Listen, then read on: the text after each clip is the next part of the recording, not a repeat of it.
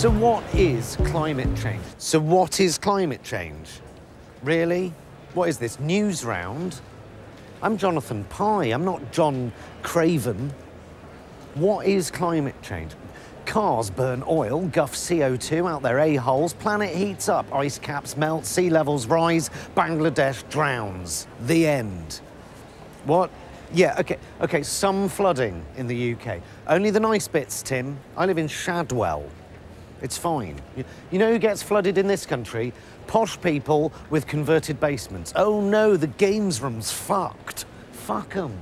I live on the fifth floor and I don't own a car. Yes, she got custody of that as well. Yep, okay.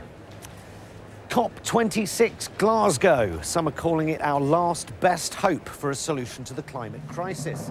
around the world.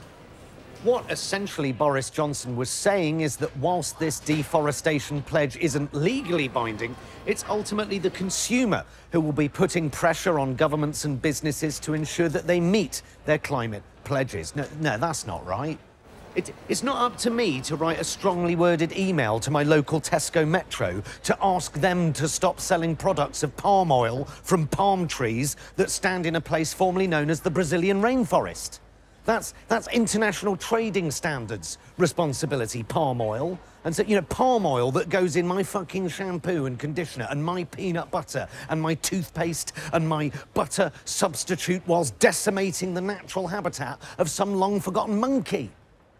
Oh, well, people won't stand for not having palm oil in their shampoo and conditioner. I would.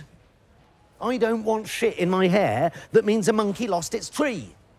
I don't want a low-fat alternative to butter on my toast if it means four species of frog were extinguished out of existence. And if it did, I want to know about it before I buy it. This killed a frog. Clearly on the package. That's what they're all here for. It's not up to me. Whereas I don't, I don't know. I don't know. I don't know what sort of thing I'm supposed to be. You know, I know I'm supposed to be recycling. I know that. No, no plastic straws. I know that. Uh, cotton buds are out, and you know my ears are filthy. So I don't know what I'm supposed to do. Is micro-consumerist bollocks, really? Exactly. Micro what? At what point am I going to be stood here, looking down the barrel of this lens, reading this auto cue, reading whatever crap it is you tell me to say, reading the news? Good evening. Earlier today, the last fish was caught. That, that's it. There's no more. There's no more fish. That was the last one. Now let's let's go to a live link and watch Jeff Bezos eat it. You know, at what point am I going to be stood here reporting it's done? It's pointless. You you can chop them all down if you want. You can just start. You can you can just go shit directly in the river if you want. It's all fucked. Won't make any difference if you do or you don't. Save yourself the bother of flushing. Fill your boots. Fuck the frogs. Fuck the frogs. You can literally fuck the frogs if you like, if you can find one. You, you can just start feeding your dog fucking plastic now. It's o- it's fucking over. At, at what point will I be stood here saying that? Because that moment seems not very far away. Yeah. Joining me now, Tim, if the government can make people scared of a virus, scared for their health, scared to death, of death, so that entire nations are afraid to step outside their door, then you can make people afraid of an oncoming catastrophic climate failure which will extinguish almost every member of every species on this planet, including our own. If it's that easy to get entire nations to pay their citizens to stay at home for a year, sit in their pants watching Tiger King, and learn how to bake soda bread and learn to hate their children, and pay them to do it, then yes, you can stop subsidising carbon emitters. You can persuade half the nation to cut their meat intake by half. Oh, people won't stand for less meat in their diet. Yes, they will. Yes, they will.